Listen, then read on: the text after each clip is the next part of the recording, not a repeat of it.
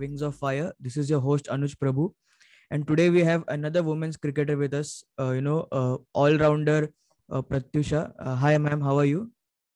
Hello, I'm good. How are you? Yeah, I'm very good. I'm very good. So, uh, you know, uh, with the lockdown right now, you know, how are how are you uh, working on your fitness and everything?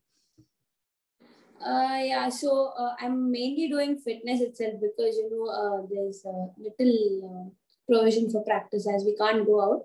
But um, fortunately, I have a cricket uh, net in my house, so I keep practicing down. Yeah, ma'am. So, you know, uh, firstly, congratulations on your uh, debut for India. You know, not many get that opportunity, and you know, uh, in the past few years, even the women's cricket has had a lot of competition for places. You know, so uh, talking about you know cricket as a game we have all played it you know when we were small but only few realize that you know this is something that we could pursue as a career. So for you what was that moment or was there any person who you know motivated you to not just take this as a sport but take it as a game professionally? Uh, you know definitely uh, it was uh, definitely my parents who you know encouraged me to take it up as a profession you know I used to play cricket a lot when I was young, but uh, both of them have been of uh, immense support, uh, like for taking it as a profession where I can pursue it. So they have played a major role in that. Yeah. So you know, uh, when we decide to play cricket, there are some performances that you know stand out and uh, kind of give us an idea that you know we are not just someone who like to play cricket, but we are capable of playing it at the highest level. So you know, uh, uh, when I read a bit about you, I realized that you are a medium pacer first, but then you have to shift to leg spin. So if you could tell something about that.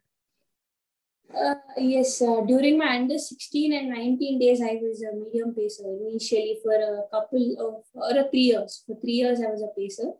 And then, you know, uh, actually when uh, I couldn't make a big impact, you know, when I was bowling because when I was a pacer, so, you know, one of my coaches suggested me that I can actually become a good leg spinner. So, when I actually became a leg spinner, there were more wickets uh, that I could take. And also, I realized I could make a better impact for my team, you know, when I play matches. So, that's when I actually changed and continued to uh, take leg spin. So, any particular performance in domestic cricket that you remember, you know, where with your leg spin you turned the game on its head?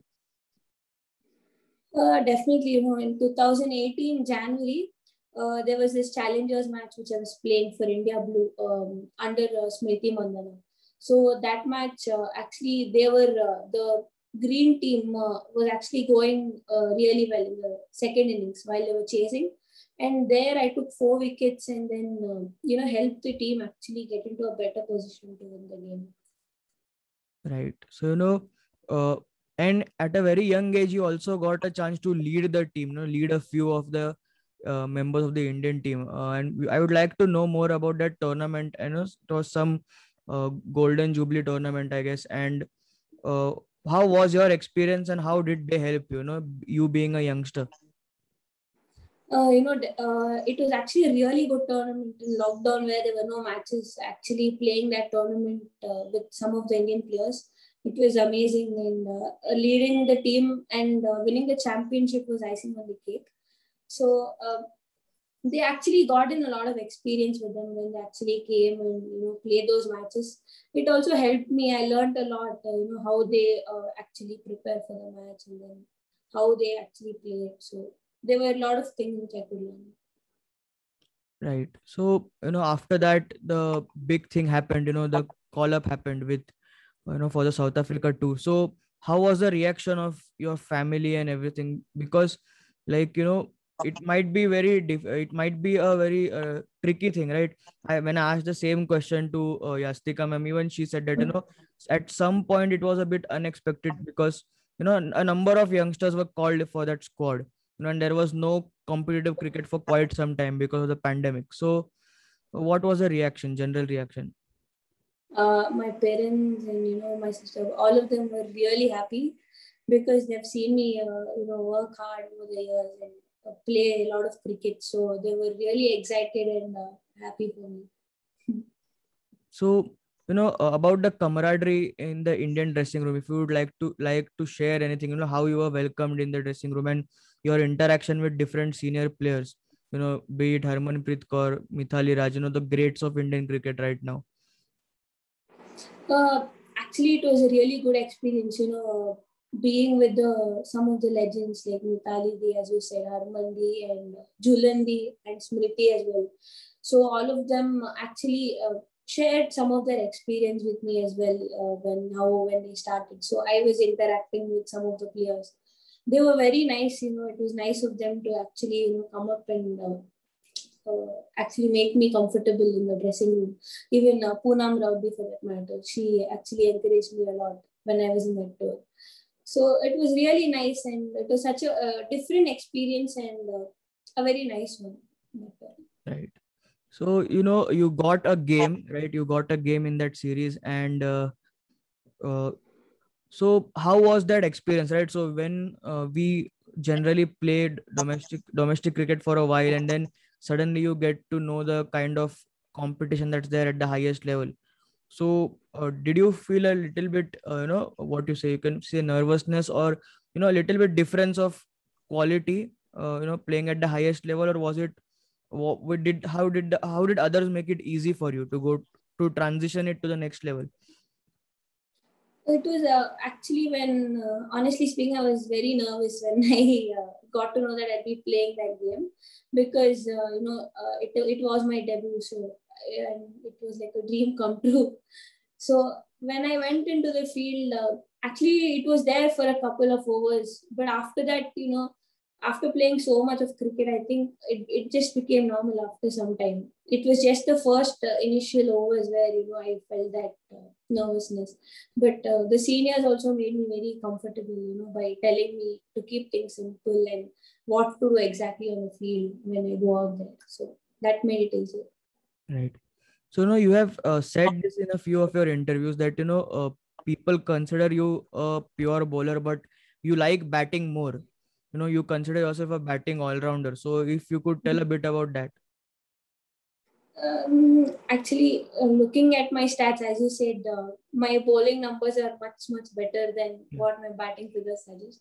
But i enjoy batting you know because uh, i've seen some players like virat kohli you know who chase the game with so much um, uh, what do you say easy easiness like yeah. they chase some huge targets. So that uh, actually motivates me much more to you know uh, bat better and you know get my team through when i'm uh, chasing some targets. So i uh, like that feeling much better. So that is why i like batting. Right. So you know uh, there was a huge contingent sent for the england tour right? Uh, and unfortunately your name wasn't in that. So was there a bit of disappointment or you know uh, how do you take that you know if you could say something about it? Uh, definitely i was uh, a bit disappointed because i was there the previous tour. But uh, i took it in my stride. I thought i'll just work harder and you know when my opportunity comes i will uh, you know play better and do my work. Yeah. So you know uh, there has been a lot of debate about a women's ipl happening you know. Uh, there has been a lot of talk about you know how only three teams uh, don't quite satisfy the talent pool that Indian women's cricket has right now.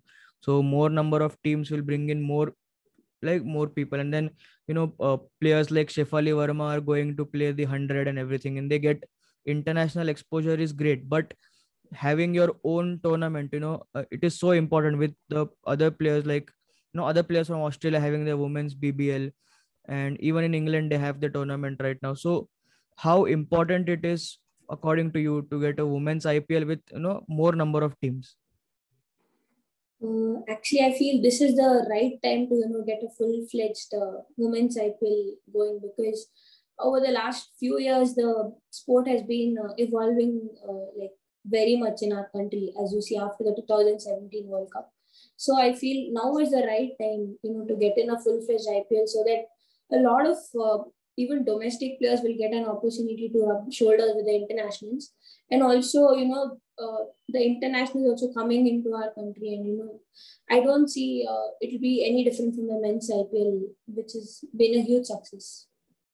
Right you know so uh, now knowing that we we not really don't know right about uh, when the next uh, women's uh, you know tour might happen or you know when the domestic thing might happen. And there are also a lot of talk about you know contracts you know with uh, the difference of money between uh, the men's contract and the women's contract. So uh, you know what is your opinion about that? You know how like you know whether women's cricket should be taken more seriously in india? Uh, i feel it's just a matter of time. Uh, you know it's just started to you know um, uh, gain popularity. So even the contracts were just uh, that's that was a huge uh, plus point when the contracts were announced just a couple of years ago. And i feel in just some more years it will you know be in a much better position. Uh, like how you said it will uh, be better. Yeah. So how do you align yourself with the future right? So with the in, in i guess in next year there's a women's world cup. Then you know with the icc meeting that happened there are a number of tournaments happening you know in the next cycle that you say till 2031 you know with with women's champions trophy also happening women's t20 world cups also happening. So how how do you align goals as per yourself? You know do you really gun for places in the indian team where a spinner is needed? Because there will be a competition from radha yadav poonam yadav and many more. Or are you looking at yourself as a real all-rounder you know batting at number six or seven Yes, definitely that is my goal, as you said, to you know become a, a all rounder because ba- uh, having a good batting gives you an edge in the team. Any day, an all rounder will be a better uh, you know contributor. So I look forward to you know getting myself better at that and then you know giving a shot at it. Right. You know, uh, thank you so much, ma'am. Uh, you gave uh, all the answers with you know uh, great honesty, and it was it was really you know a privilege to talk to a women's cricketer again because generally this is something that not many people talk about. And it is something that needs an urgency especially in india which is a you know you could say a cricketing powerhouse. So you know thank you so much for your time ma'am. Thank you so much. Thank you